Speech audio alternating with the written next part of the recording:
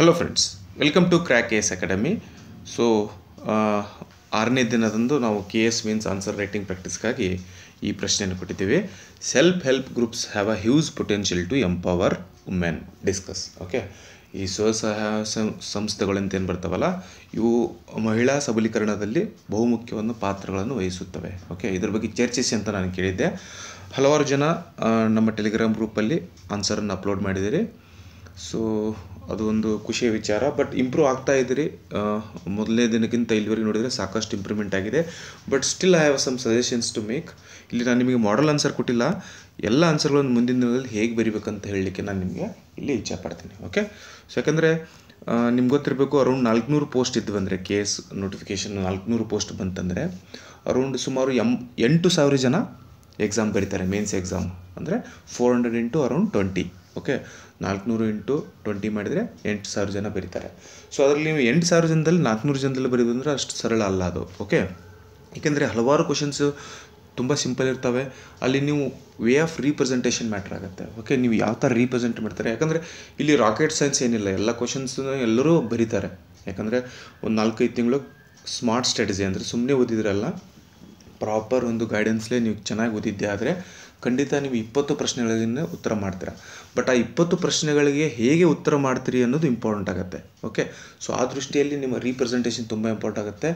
Okay ನಾನು instruction ಕೊಡ್ತೀನಿ ಅವ್ರನ್ನ ಫಾಲೋ ಮಾಡಿ. ಓಕೆ ಸೊ ಇನ್ಸ್ಟ್ರಕ್ಷನನ್ನು ನೀವು ಉಪಯೋಗ ಮಾಡಿಕೊಂಡು ನೆಕ್ಸ್ಟ್ ಆನ್ಸರ್ ಅಂದರೆ ನಾನು ನಾಳೆ ಕೊಡೋ ಪ್ರಶ್ನೆಗೆ ಅವುಗಳನ್ನೆಲ್ಲ ಉಪಯೋಗ ಮಾಡಿಕೊಂಡು ನೀವು ಆನ್ಸರ್ ಮಾಡಿರಬೇಕು. ಓಕೆ ಸೊ ಮತ್ತೆ ಸೇಮ್ ರಿ ಮಿಸ್ಟೇಕನ್ನು ರಿಪೀಟ್ ಮಾಡಬೇಡಿ.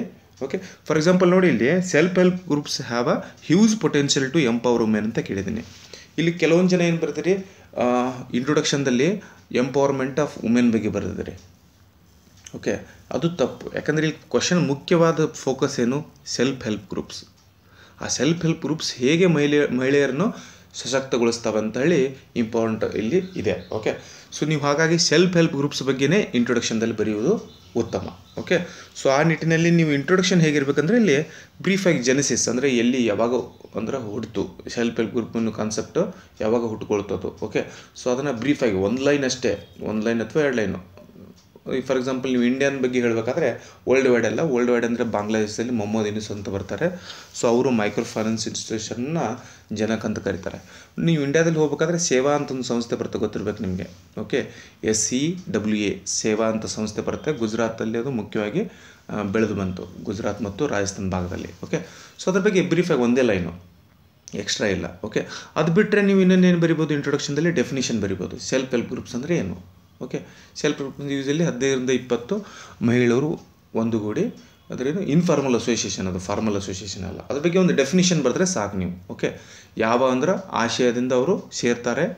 ಓಕೆ ಎಷ್ಟು ಜನ ಇರ್ತಾರೆ ಅಂತೇಳಿ ಒಂದು S S G simple definition okay ಇಷ್ಟು ಬರೆದ್ರೆ ನಿಮ್ಮ ಇಂಟ್ರೊಡಕ್ಷನ್ ಆಗತ್ತೆ. ಓಕೆ ಸೊ ಅದ್ರ ಇಂಟ್ರೊಡಕ್ಷನ್ ಕೆಳಗಡೆ ಬಾಡಿ ಸ್ಟಾರ್ಟ್ ಮಾಡೋಕ್ಕಿಂತ ಮುಂಚೆನೇ ನೀವು objectives of S S G ಅಂತೇಳಿ ಬರೆದ್ಬಿಟ್ಟು ಒಂದು ಡಯಾಗ್ರಾಮ್ ಹಾಕ್ಬೋದು. ಇದರಲ್ಲಿ ಏಕೆಂದರೆ ನೀವು ನೋಡಿ, ಇದರಲ್ಲಿ ಹಲವಾರು ಜನ ಡಯಾಗ್ರಾಮ್ ಹಾಕಲೇ ಇಲ್ಲ. ನಾನು ಹೇಳಿದೆ ನಿಮಗೆ ಇಪ್ಪತ್ತು ಪ್ರಶ್ನೆಗಳಲ್ಲಿ ಅಂದರೆ ಕೆ ಎಸ್ ಮುಖ್ಯ ಪರೀಕ್ಷೆಯಲ್ಲಿ ಒಂದು ಪೇಪರ್ಗೆ ಇಪ್ಪತ್ತು ಪ್ರಶ್ನೆ ಇರ್ತವೆ. ಆ ಇಪ್ಪತ್ತು ಪ್ರಶ್ನೆ ಪ್ರಶ್ನೆಗಳಲ್ಲಿ ಮಿನಿಮಮ್ ಹನ್ನೆರಡು ಪ್ರಶ್ನೆಗಳಿಗೆ ನೀವು ಡಯಾಗ್ರಾಮ್ ಹಾಕ್ಬೋದು. ಓಕೆ ಮಿನಿಮಮ್ ಹನ್ನೆರಡು. ನೀವು ಹದಿನೈದು, ಹದಿನಾರು ತನಕ ಹಾಕಿದ್ರು ಏನು ತೊಂದರೆ ಇಲ್ಲ. ಬಟ್ ಡಯಾಗ್ರಾಮ್ ಎಲ್ಲದಕ್ಕೂ ಸೇಮ್ ಫ್ಲೋ ಡಯಾಗ್ರಾಮ್ ಹಾಕೋತ ಹೋಗಬೇಡಿ. ಓಕೆ ಒಂದರಲ್ಲಿ ಫಾರ್ ಎಕ್ಸಾಂಪಲ್ ಒಂದರಲ್ಲಿ ಮ್ಯಾಪ್ ಹಾಕಿದರೆ ಇನ್ನೊಂದರಲ್ಲಿ ಫ್ಲೋ ಡಯಾಗ್ರಾಮ್ ಹಾಕಿ. ಓಕೆ ಇನ್ನೊಂದರಲ್ಲಿ ನೀವು ಬ್ಲಾಕ್ ಡಯಾಗ್ರಾಮ್ ಹಾಕ್ಬೋದು ಓಕೆ ಹೀಗೆ different different way of representation ನೀವು ಡಯಾಗ್ರಾಮ್ ಹಾಕೋದ್ರಿಂದ ಏನಾಗುತ್ತೆ? ಸ್ಪೇಸು ಉಳಿಯುತ್ತೆ, ಆಮೇಲೆ ಟೈಮು ಉಳಿಯುತ್ತೆ, ಮತ್ತು ನೀವು ಏನು ಇನ್ಫಾರ್ಮೇಷನ್ ನೀವು ಇವಾಲ್ಯೂಟ್ರಿಗೆ ಮುಟ್ಟಿಸ್ಬೇಕಂತಿರಲ್ಲ ಅದು ಮುಟ್ಟತ್ತೆ ಓಕೆ ಎಫೆಕ್ಟಿವ್ ಆಗಿ ಮುಟ್ಟತ್ತೆ. ಆ ದೃಷ್ಟಿಯಲ್ಲಿ ನಿಮ್ಮ ಮಾರ್ಕ್ಸನ್ನು ಮ್ಯಾಕ್ಸಿಮೈಸ್ ಮಾಡಲಿಕ್ಕೆ ಈ ಡಯಾಗ್ರಾಮ್ಸ್ ತುಂಬ ಹೆಲ್ಪ್ ಆಗುತ್ತೆ. ಫಾರ್ ಎಕ್ಸಾಂಪಲ್ ಇಲ್ಲಿ ಅಬ್ಜೆಕ್ಟಿವ್ ಆಫ್ ಎಸ್ ಎಚ್ ಜಿಯಲ್ಲಿ ಸುಮ್ಮನೆ ಎಕ್ಸಾಂಪಲ್ ಆಗುತ್ತೆ ನೀವು ಬೇರೆ ಬೇರೆ ವಿಧ ವಿಧವಾಗಿ ಡಯಾಗ್ರಾಮ್ ತೆಗಿಬೋದು. ಇಲ್ಲಿ ನಾನೇನು ಏನು ಹೇಳಿ ಬಯಸ್ತೇನೆ ಅಂದರೆ, ನೀವು ಅಟ್ಲೀಸ್ಟ್ ನೀವು ಈ ಥರ ಒಂದು ಡಯಾಗ್ರಾಮ್ ತೆಗಿಬೋದಾಯಿತು ಇಲ್ಲಿ ಎಸ್ ಎಸ್ ಜಿ ಅಂತ ಬರೆದು, ಇಲ್ಲಿ ಎಸ್ ಎಚ್ ಜಿದು ಅಬ್ಜೆಕ್ಟಿವ್ಸ್ ಏನು? ಈ ಥರ ಒಂದು ಐದಾರು ಇದು ಮಾಡಿ, ಇಲ್ಲಿ ಸೆಂಟ್ರಲ್ ಎಸ್ ಎಚ್ ಜಿ ಬರೆದ್ಬಿಟ್ಟು ಇದು ಥ್ರಿಫ್ಟ್ ಸೇವಿಂಗ್ಸ್ ಅನ್ನ ಮನೋಭಾವನೆಯನ್ನು ಬೆಳೆಸ್ತದೆ. ಓಕೆ ಕ್ರೆಡಿಟ್ ಕೊಡ್ತದೆ, ಅಂದರೆ ಸಾಲವನ್ನು ಕೊಡ್ತದೆ. ಓಕೆ ಆಮೇಲೆ ವುಮೆನ್ ಎಂಪು ಸುಮ್ಮನೆ ಇನ್ನೇನು ಏನಿದೆ ಅಬ್ಜೆಕ್ಟಿವ್ಸ್ ಏನಿದೆ ನಿಮ್ಗೆ ಗೊತ್ತಿರುತ್ತೆ ಎಕ್ಸಿ ಆ ಅಬ್ಜೆಕ್ಟಿವ್ಸನ್ನು ಈ ಥರ ನೀವು ಡಯಾಗ್ರಾಮೆಟಿಗಾಗಿ ಮಾಡಿದರೆ ನಿಮಗೆ ಮಾರ್ಕ್ಸ್ ಜಾಸ್ತಿ ಬರುತ್ತೆ. ಓಕೆ ನೋಡಿ so objectives of S H G ಅಂತೇಳಿ ಸುಮ್ಮನೆ ಇದು hardly you can spend around twenty to thirty seconds in drawing diagrams so ಇಪ್ಪತ್ತ್ಮೂವತ್ತು ಸೆಕೆಂಡಲ್ಲಿ ನೀವು ಡಯಾಗ್ರಾಮ್ ಮುಗಿಸ್ತೀರ, ಒಂದು ನಿಮಿಷದಲ್ಲಿ ನೀವು ಇಂಟ್ರೊಡಕ್ಷನ್ ಮುಗಿಯುತ್ತೆ. ಓಕೆ ಸೊ ಒಂದೂವರೆ ನಿಮಿಷದಲ್ಲಿ ನಿಮ್ಮ ಇಂಟ್ರೊಡಕ್ಷನ್ನು ಅಬ್ಜೆಕ್ಟಿವ್ಸ್ ಎರಡೂ ಮುಗಿಯುತ್ತೆ.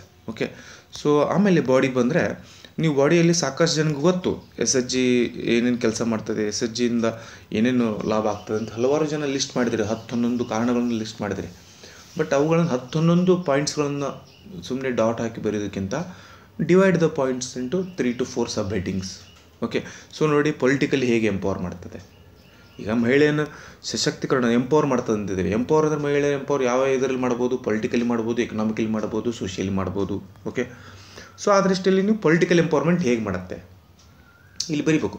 ಮುಗ್ ಉದಾಹರಣೆ ಕೊಡೋದು ತುಂಬ ಇಂಪಾರ್ಟೆಂಟ್ ಆಗುತ್ತೆ. ಸಾಕಷ್ಟು ಜನ ಉದಾಹರಣೆನ ಕೊಟ್ಟಿಲ್ಲ. ಸಾಕಷ್ಟು ಎಷ್ಟು ನೀವು ಹೆಚ್ಚಿನ ಮಟ್ಟದಲ್ಲಿ ಉದಾಹರಣೆ ಕೊಡಬೇಕು. ಆವಾಗಲೇ ಇವಾಲ್ವೇಟ್ರಿಗೆ ಅನಿಸುತ್ತೆ ನಿಮ್ಮ, ನೀವು ಅಭ್ಯಾಸ ಚೆನ್ನಾಗಿ ಆಗಿದೆ ನಿಮ್ಮದು ಅಂದರೆ ಇದ್ರ ಬಗ್ಗೆ ನಿಮಗೆ ಹಿಡಿತಾ ಇದೆ ಅಂತ ಅವ್ನಿಗೆ ಗೊತ್ತಾಗುತ್ತೆ. ಅದರಿಂದ ನಿಮಗೆ ಹೆಚ್ಚಿಗೆ ಅಂಕಗಳನ್ನ ಅವನು ನೀಡ್ತಾನೆ. ಓಕೆ ಪೊಲಿಟಿಕಲ್ ಎಂಪವರ್ಮೆಂಟ್ ಹೇಗಾಗುತ್ತೆ? ಎಸ್ ಎಚ್ ಜಿ ಬರೋದ್ರಿಂದ ಮುಖ್ಯವಾಗಿ ಒಂದು ಎಲ್ಲರೂ ಹೇಳೋದಂದರೆ ಎಲ್ಲ ಹಲವಾರು ವರದಿಗಳಲ್ಲಿ ಹೇಳೋದೇನೆಂದರೆ ಪ್ಲ್ಯಾನಿಂಗ್ ಕಮಿಷನ್ ಕೂಡ ಇದ್ರ ಬಗ್ಗೆ ಹೇಳಿತ್ತು. ಓಕೆ ಏನಂದರೆ ಈ ಎಸ್ ಎಚ್ ಜಿ ಡೆವಲಪ್ ಆಗ್ತಾ ಆಗ್ತಾ ಏನಾಗಿದೆ ಅಂದರೆ ಮಹಿಳೆಯರ ಪಾರ್ಟಿಸಿಪೇಷನ್ ಏನು ಪಂಚಾಯತ್ ಎಲೆಕ್ಷನ್ಸ್ನಲ್ಲಿ ಹಲವಾರು S H G group members panchayat ಅಧ್ಯಕ್ಷರಾಗಿದ್ದಾರೆ, ಗ್ರಾಮ ಪಂಚಾಯತ್ ಲೆವೆಲಲ್ಲಿ ಗ್ರಾಮ ಪಂಚಾಯತ್ ಮೆಂಬರ್ಸ್ ಆಗಿದ್ದಾರೆ ಓಕೆ ಮತ್ತು ಇನ್ನೊಂದೇನೆಂದರೆ ಇದರಿಂದ ಈ ಗ್ರಾಮ ಸಭೆಯಿಂದ ನಡೀತಲ್ಲ, ಗ್ರಾಮ ಸಭೆಯಲ್ಲಿ ಮಹಿಳೆಯರ ಪಾರ್ಟಿಸಿಪೇಷನ್ ಜಾಸ್ತಿ ಆಗಿದೆ. ಮತ್ತು ಇನ್ನೊಂದು ಸೋಷಿಯಲ್ ಎಡಿಟ್ ಅಂತ ಗೊತ್ತಿರಬೇಕು ನಿಮಗೆ. ಸೋಷಿಯಲ್ ಎಡಿಟಲ್ಲಿ ಮಹಿಳೆಯರು ಪಾರ್ಟಿಸಿಪೇಟ್ ಮಾಡ್ತಾರೆ. ಮಹಿಳೆಯರು ಎಸ್ ಎಚ್ ಜಿ ಬಂದಿರೋದ್ರಿಂದ ಅವ್ರಿಗೆ ಸಾಕಷ್ಟು ಏನಿದು ಪೊಲಿಟಿಕಲ್ ಲಿಟ್ರಸಿ ಅಂತ ಬರ್ತದೆ. ಓಕೆ ಅಂದರೆ ರಾಜಕೀಯ ವಿಷಯಗಳ ಬಗ್ಗೆ ಹಲವು ಹಲವಾರು ವಿಷಯಗಳನ್ನ ಅವರು ತಿಳ್ಕೊಂಡಿದ್ದಾರೆ. ಹೀಗಾಗಿ ತಮ್ಮ ಹಕ್ಕುಗಳ ಬಗ್ಗೆ ಅವರಿಗೆ ಅವೇರ್ನೆಸ್ ಬಂದಿದೆ. ಹಾಗಾಗಿ ಅವರು ತಮ್ಮ ರೈಟ್ಸ್ ಅಂದರೆ ಹಕ್ಕುಗಳ ಬಗ್ಗೆ ಡಿಮ್ಯಾಂಡ್ ಮಾಡ್ತಾ ಇದ್ದಾರೆ ಗ್ರಾಮ ಸಭೆಯಲ್ಲೆಲ್ಲ. ಆಮೇಲೆ ಅಧಿಕಾರಿಗಳಿಗೆ ಡಿಮ್ಯಾಂಡ್ ಮಾಡ್ತಾರೆ ಇದು ಇದು ಪೊಲಿಟಿಕಲ್ ಎಂಪವರ್ಮೆಂಟ್ ಓಕೆ ನಮ್ಮದು ಯೂಶಲಿ ಭಾರತ ಪ್ಯಾಟ್ರಿಯಾಟಿಕ್ ಸೊಸೈಟಿ ಅಂತಿದ್ದೇವೆ. ಈ ಎಸ್ ಎಚ್ ಜಿ ಬಂದಮೇಲೆ ಮಹಿಳೆಯರು ರಿಯಲಿ ಹಲವಾರು ಭಾಗಗಳಲ್ಲಿ, ಗ್ರಾಮೀಣ ಭಾಗಗಳಲ್ಲಿ ಮಹಿಳೆಯರು ಸಶಕ್ತಗೊಂಡಿದ್ದಾರೆ. ಓಕೆ ಇನ್ನು ಎಕನಾಮಿಕ್ ಎಂಪವರ್ಮೆಂಟ್ ಇದು core of the question okay ಯಾಕಂದರೆ ಎಸ್ ಎಚ್ ಜಿ ಮೇನಾಗಿ ಏನದು ಫೋಕಸ್ ಇರೋದೇ ಕ್ರೆಡಿಟ್ ಲಿಂಕೇಜ್ ಓಕೆ ಅಂದರೆ ಹಣ ಅಂದರೆ ಲೋನನ್ನು ಕೊಡುತ್ತೆ ಮಹಿಳೆಯರಿಗೆ ಅದು, ಆ ಗ್ರೂಪ್ ಮೆಂಬರ್ಸ್ಗೆ ಸೊ ಆ ನಿಟ್ಟಿನಲ್ಲಿ ಎಕನಾಮಿಕ್ ಎಂಪವರ್ಮೆಂಟ್ ತುಂಬ ಇಂಪಾರ್ಟೆಂಟ್ ಆಗುತ್ತೆ. ಯಾಕಂದರೆ ಈಗ ಇಲ್ಲಂದ್ರೆ ಏನಾಗುತ್ತೆ? Usually income generating activities are undertaken by the men in Indian society but S H ಬಂದುಬಿಟ್ಟು ಇನ್ಕಮ್ ಜನರೇಟಿಂಗ್ ಆ್ಯಕ್ಟಿವಿಟೀಸನ್ನು ಮಹಿಳೆಯರು ಕೈಗೊಳ್ತಾ ಇದ್ದಾರೆ. ಅವು ಹಲವಾರು ಸ್ಮಾಲ್ ಸ್ಕೇಲ್ ಇಂಡಸ್ಟ್ರಿಯಲ್ಲಿ ಅವರು ಪಾರ್ಟಿಸಿಪೇಟ್ ಮಾಡ್ತಾ ಇದ್ದಾರೆ. ಓಕೆ ಹಲವಾರು ಈ ಸ್ಪೆಷಲಿ ಹೇಳಬೇಕಂದ್ರೆ ಇವು ತಿಂಡಿ ತಿನಿಸುಗಳು ಹಲವಾರು ಸಣ್ಣ ಪುಟ್ಟವರು ಒಂದು ಸಂಸ್ಥೆ ಮಾಡಿಕೊಂಡು ಅದರಿಂದ ಕೂಡ ಅವರು ಉತ್ಪತ್ತಿ ಅಂದರೆ ಹಣವನ್ನು ಗಳಿಸ್ತಾ ಇದ್ದಾರೆ. ಸೊ ಈ ನಿಟ್ಟಿನಲ್ಲಿ ಎಕನಾಮಿಕ್ ಎಂಪವರ್ಮೆಂಟ್ ಜಾಸ್ತಿ ಆಗಿದೆ ಯಾರದು? ವುಮೆನ್ದು ಓಕೆ ಸೊ ಇದರಲ್ಲಿ ನೀವು ಹಲವಾರು ಎಕ್ಸಾಂಪಲ್ಸ್ ಕೊಡಬೇಕಾಗತ್ತೆ ಓಕೆ ಸೊ ಕೊಡೋದ್ರಿಂದ ಹೇಗೆ ಮಹಿಳೆಯ ಸಶಕ್ತೀಕರಣ ಆಗ್ತಾ ಇದೆ. ಇನ್ನು ಸೋಷಿಯಲ್ ಎಂಪವರ್ಮೆಂಟ್ ಹೇಗೆಂದರೆ, ನಾನು ಹೇಳಿದೆ ನಿಮಗೆ, ಈ ಪೊಲಿಟಿಕಲ್ ಪೆಟ್ರಾಟಿಕ್ ಸೊಸೈಟಿಯಲ್ಲಿ ಮಹಿಳೆಯರಿಗೆ ಈ ಮನೆ ಬಿಟ್ಟು ಹೊರಗಡೆ ಬರಲಿಕ್ಕೆ ಅವಕಾಶನೇ ಇರೋದಿಲ್ಲ, ಇರಲಿಲ್ಲ. ಬಟ್ ಈಗೆಲ್ಲ ಇತ್ತೀಚೆಗೆ ಚೇಂಜ್ ಆಗಿದೆ. ಬಟ್ ಇದಕ್ಕೆ ರೂರಲ್ ಭಾಗದಲ್ಲಿ ಅರ್ಬನ್ ಸಿಟೀಸ್ ಸಿಟೀಸಲ್ಲಿ ನೋಡಿದರೆ ನೀವು ಮಹಿಳೆಯರು ಆಲ್ಮೋಸ್ಟ್ ಎಲ್ಲರೂ, ಈಗ ಫಾರ್ ಎಕ್ಸಾಂಪಲ್ ಐ ಟಿ ಕಂಪ್ನೀಸಲ್ಲಿ ವುಮೆನ್ ರಿಪ್ರೆಸೆಂಟೇಷನ್ ಅವ್ರನ್ನ ಫೋರ್ಟಿ ಪರ್ಸೆಂಟ್ ಇದೆ. ಬಟ್ ಈ ಜೆಂಡರ್ ಎಂಪೋ ಎಕನಾಮಿ ಈ ಸೋಷಿಯಲ್ ಎಂಪವರ್ಮೆಂಟ್ ಹೇಗಾಗಿದೆ ಅಂದರೆ ಒಂದು ಜೆಂಡರ್ ಇನ್ಇಕ್ವಾಲಿಟಿ ಬರ್ತಾ ಇದೆ. ಎರಡನೇದು women for example girls side enrollment ಏನಿದೆ ಎಜುಕೇಷನ್ಗೆ ಅದು ಜಾಸ್ತಿ ಆಗ್ತಿದೆ. ಓಕೆ ಆಮೇಲೆ, ಈ ಗರ್ಲ್ಸ್ ಪಾರ್ಟಿಸಿಪೇಷನ್ ಡ್ರಾಪ್ಔಟ್ ರೇ ರೇಟ್ ಏನು ಜಾಸ್ತಿ ಇತ್ತಲ್ಲ ಪ್ರೈಮರಿ ಸ್ಕೂಲು ಹೈಸ್ಕೂಲ್ ಆಗಿರ್ಬೋದು, ಅದು ಕೂಡ ಕಡಿಮೆ ಆಗ್ತಾ ಇದೆ. ಓಕೆ ಸೊ ಈ ನಿಟ್ಟಿನಲ್ಲಿ ಮಹಿಳೆ ಸೋಷಿಯಲಿ ಕೂಡ ಎಂಪವರ್ ಆಗ್ತಾ ಇದ್ದಾರೆ. ಸೊ ಈ ನಿಟ್ಟಿನಲ್ಲಿ ನೀವು ಹಲವಾರು ಪಾಯಿಂಟ್ಗಳನ್ನು ಈ ಮೂರ್ನಾಲ್ಕು ಸಬ್ ಪಾಯಿಂಟಲ್ಲಿ ಸಬ್ ಹೆಡ್ಡಿಂಗಾಗಿ ಲಿಸ್ಟ್ ಮಾಡ್ಕೊಂಡು ಎಕ್ಸ್ಪ್ಲೇನ್ ಮಾಡಿದರೆ ತುಂಬ ನಿಮಗೆ ಒಂದು ಅಟ್ರಾಕ್ಟಿವ್ ಆಗಿ ಕಾಣುತ್ತೆ ರೀಪ್ರೆಸೆಂಟೇಷನ್ ಚೆನ್ನಾಗಿರುತ್ತೆ. ಇನ್ನೊಂದು ನಾನು ಇಲ್ಲಿ ಹೇಳ್ತಾ ಇರೋದಂದರೆ, ನೀವು ಇಂಡೆಂಟೇಷನ್ ಪ್ರಾಪರ್ ಆಗಿರ್ಬೇಕು. ಇಂಡೆಂಟೇಷನ್ ಅಂತ ಹೇಳ್ತಿರ್ತೀನಿ ಏನಂದರೆ ಫಾರ್ ಎಕ್ಸಾಂಪಲ್ ನೋಡಿ ನಿಮ್ಮ ಲೈನ್ ಎಲ್ಲ ಇಲ್ಲಿ ಅಲ್ಲಿ ಲೈನ್ ಇರುತ್ತೆ, ಎಲ್ಲಿ ಎಕ್ಸಾಮಲ್ಲಿ ಬಟ್ ನೀವು ಅಲ್ಲಿ ನೋಡಿ ಇಂಟ್ರೊಡಕ್ಷನ್ ಅಂತ ಬರೆದ ಮೇಲೆ ಇಲ್ಲಿ ಸ್ವಲ್ಪ ಗ್ಯಾಪ್ ಕೊಟ್ಟಿದ್ದಾರಲ್ಲ ಗ್ಯಾಪ್ ಕೊಟ್ಟು ಇಲ್ಲಿ ನೀವು ಇಂಟ್ರೊಡಕ್ಷನ್ ಭಾಗ ಮುಗಿಸ್ತೀರ.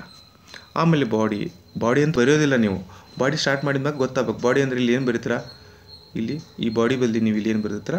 ಎಂಪವರ್ಮೆಂಟ್ ಆಫ್ ವುಮೆನ್ ಹಾಂ, ಆಮೇಲೆ ಇಲ್ಲಿ ಒಂದೇದು ಪೊಲಿಟಿಕಲ್ ಎಂಪವರ್ಮೆಂಟ್ ಹೇಗಾಗುತ್ತೆ. ಇಲ್ಲಿ ಗ್ಯಾಪ್ ಇದೆ ನೋಡಿ. ಇದು ಇಂಡೆಂಟೇಷನ್ ಪ್ರಾಪರ್ ಇಂಡೆಂಟೇಷನ್ ಈ ಗ್ಯಾಪ್ ಏನು ಕೊಟ್ಟಿದ್ದಿಲ್ಲ ಯಾಕಂದರೆ ಎಕ್ಸಾಮ್ನಲ್ಲಿ ಗೊತ್ತಾಗುತ್ತೆ ನೀವು ಎಲ್ಲಿ ಇಂಟ್ರೊಡಕ್ಷನ್ ಮುಗಿಸಿ, ಎಲ್ಲಿ ಬಾಡಿ ಸ್ಟಾರ್ಟ್ ಮಾಡ್ತಾ ಇದ್ದೀರಾ.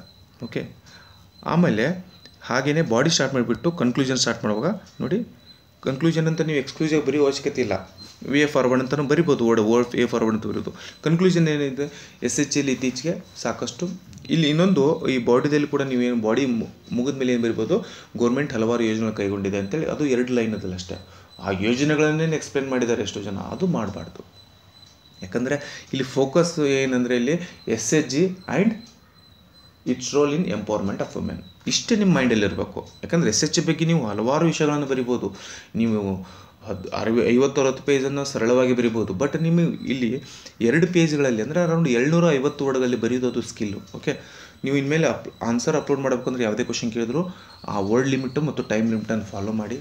ನೀವು ಆಮೇಲೆ ನಾನು ಇಲ್ಲಿ ಎಕ್ಸಾಮಲ್ಲಿ ಫಾಲೋ ಮಾಡ್ತೀನಿ, ಇಲ್ಲಿ ಪ್ರಾಕ್ಟೀಸ್ ಮಾಡುವಾಗ ನಾನು ಹೆಚ್ಚಿಗೆ ಬರಿತೀನಿ ಅಂದರೆ ಅದು ಆಗೋದಿಲ್ಲ. ಈಗ ಏನು ಪ್ರಾಕ್ಟೀಸ್ ಮಾಡ್ತಿರಲ್ಲ that will reflect in exam ಇಲ್ಲಿ ಏನು ಜಾಸ್ತಿ ಬರಿತಾ ಹೋದರೆ ಎಕ್ಸಾಮಲ್ಲಿ ಜಾಸ್ತಿ ಬರಿತಾ ಹೋಗ್ತೀರಾ, ಎಲ್ಲ ಪ್ರಶ್ನೆಗಳಿಗೆ ಉತ್ತರ ಮಾಡಲಿಕ್ಕೆ ನಿಮ್ಗೆ ಆಗೋದಿಲ್ಲ. ಮತ್ತು ಆ ಕೊಟ್ಟ ಸ್ಪೇಸಲ್ಲಿ ಅಂದರೆ ಎರಡೇ ಮೂರು ಪೇಜ್ ಕೊಡ್ತಾರೆ, ಆ ಸ್ಪೇಸ್ಗಳಲ್ಲಿ ನಿಮ್ಮ ಸ್ಟ್ರಕ್ಚರ್ಡ್ ಆರ್ಗನ್ ಆನ್ಸರನ್ನು ಬರಲಿಕ್ಕೆ ಆಗೋದಿಲ್ಲ.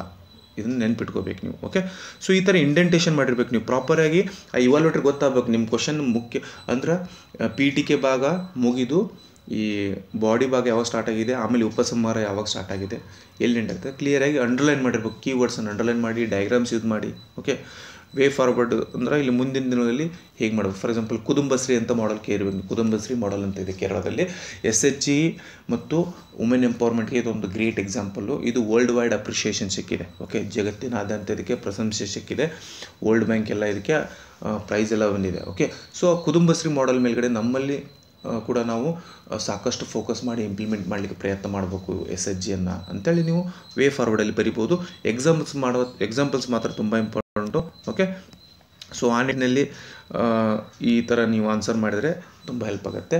ಸೊ ಇನ್ನೂ ಯಾರ್ಯಾರು ಇನ್ನೂ ಆನ್ಸರ್ ರೈಟಿಂಗ್ ಪ್ರಾಕ್ಟೀಸ್ ಮಾಡಲೇ ಹೀಗೆ ಸ್ಟಾರ್ಟ್ ಮಾಡಿ ಓಕೆ ಯಾಕಂದರೆ ಒನ್ಸ್ ನೋಟಿಫಿಕೇಷನ್ ಆದಮೇಲೆ ನಿಮಗೆ ಆನ್ಸರ್ ರೈಟಿಂಗ್ ಪ್ರಾಕ್ಟೀಸ್ ಮಾಡಲಿಕ್ಕೆ ಆಗೋದಿಲ್ಲ. ಯಾಕಂದರೆ ಫಿಲಿಮ್ಸ್ಗೆ ಓದ್ತಾ ಇರ್ತೀರ ಫಿಲಿಮ್ಸ್ ಮುಗಿದ ಮೇಲೇ ನೀವು ಮೇನ್ಸಿಗೆ ಆನ್ಸರ್ ರೈಟಿಂಗ್ ಪ್ರಾಕ್ಟೀಸ್ ಮಾಡೋಕ್ಕೆ ಸಾಧ್ಯ ಆಗೋದು. ಈಗ ನೀವು ಆನ್ಸರ್ ರೈಟಿಂಗ್ ಪ್ರಾಕ್ಟೀಸ್ ಮಾಡಿದರೆ ಖಂಡಿತ ಅದು ನಿಮಗೆ ಒಂದು ಎಡ್ಜ್ ಕೊಡುತ್ತೆ. ಬೇರೆ ಕಾಂಪಿಟೇಟರ್ಸ್ಗಿಂತ ಎಡ್ಜ್ ಕೊಡುತ್ತೆ.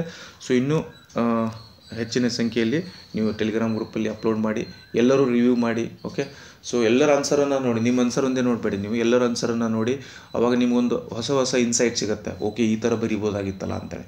ಅಂತೆ ಅದೇ ಇಂಪಾರ್ಟೆಂಟ್ ಬಿಗ್ಗೆಸ್ಟ್ ಅಡ್ವಾಂಟೇಜ್ ಅಂದ್ರೇನು ಒಂದು ನಿಮ್ಗೆ ಆನ್ಸರ್ ರೈಟಿಂಗ್ ಸ್ಕಿಲ್ ಡೆವಲಪ್ ಆಗುತ್ತೆ. ಇನ್ನೊಂದೇನೆಂದರೆ, ಹಲವಾರು ಏನು ಅಭ್ಯರ್ಥಿಗಳ ನೀವು ಆನ್ಸರ್ ಶೀಟನ್ನು ನೋಡಿದಾಗ ನಿಮ್ಮ ಆನ್ಸರ್ ಇಂಪ್ರೂವ್ ಮಾಡ್ಕೊಳ್ಳಿಕ್ಕೆ ಹೆಲ್ಪ್ ಆಗುತ್ತೆ. ಯಾಕಂದರೆ ಆ ಇನ್ನೊಬ್ಬರು ಅಭ್ಯರ್ಥಿರು ಅವ್ರ ಡಯಾಗ್ರಾಮ್ ಹೇಗೆ ತೆಗೆದಿದ್ದಾರೆ ಸೊ ಅವ್ರ ರಿಪ್ರೆಸೆಂಟೇಷನ್ ಹೇಗೆ ಮಾಡಿದ್ದಾರೆ ಓಕೆ ಆ ಪಾಯಿಂಟ್ಸ್ ಆ ಥರ ನಾನು ಬರಿಬೋದಾಗಿತ್ತಲ್ಲ ಅಂತೇಳಿ ನೀವು ಅದು ನಿಮಗೆ ಡೆವಲಪ್ ಆಗುತ್ತೆ ಆ ಸ್ಕಿಲನ್ನು ಓಕೆ ಸೊ ಈ ಟೆಲಿಗ್ರಾ ಟೆಲಿಗ್ರಾಮ್ ಚಾನಲಲ್ಲಿ ನೀವು ನಿಮ್ಮ ಆನ್ಸರ್ನ ಅಪ್ಲೋಡ್ ಮಾಡ್ಬೋದು. ಸೊ ನೀವು ಕೆಳಗಡೆ ನಾನು ಬಾಡಿಯಲ್ಲಿ ಡಿಸ್ಕ್ರಿಪ್ಷನ್ದಲ್ಲಿ ಕೊಟ್ಟಿರ್ತೀನಿ. ಅಥವಾ ನೀವು ಟೆಲಿಗ್ರಾಮ್ ಆ್ಯಪಲ್ಲಿ ಹೋಗಿಬಿಟ್ಟು ಕ್ರ್ಯಾಕ್ ಕೇಸ್ ಅಕಾಡೆಮಿ ಸರ್ಚ್ ಮಾಡಿದರೆ ಎರಡು ಗ್ರೂಪ್ ಬರ್ತವೆ. ಒಂದು ಕೋರ್ ಗ್ರೂಪ್ ಇದೆ, ಇನ್ನೊಂದು answer writing practice separate book ಇದೆ ಗ್ರೂಪ್ ಇದೆ. ಆ ಗ್ರೂಪನ್ನು ಜಾಯ್ನ್ ಆಗಿ ಅಲ್ಲಿ ನಿಮ್ಮ ಆನ್ಸರನ್ನು ಅಪ್ಲೋಡ್ ಮಾಡಿ.